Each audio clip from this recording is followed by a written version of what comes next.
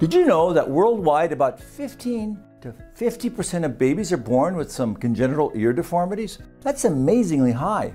If these are left untreated, they can certainly lead to psychological distress, anxiety, and, and a, certainly a decreased quality of life. So it's important to treat these infants' ears when they're young.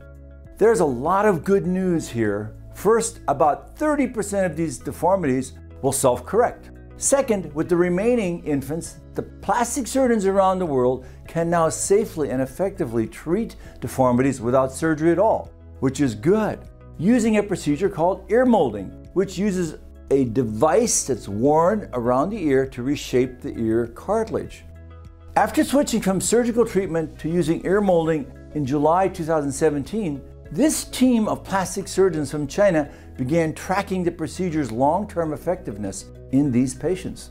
In this new plastic surgery hot topic, they share their results with about 200 consecutive babies treated with these ear molding devices. The babies were treated with the device for about four and a half weeks on average. The team determined that immediately after the treatment, the outcomes were 96.8% successful.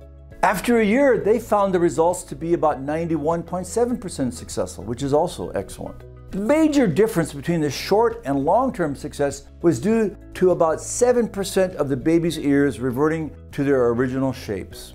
Interestingly, neither patient gender nor age or length of treatment had any correlation to the long term success. However, family history was a key factor among babies whose ears proved resistant to this type of non surgical treatment.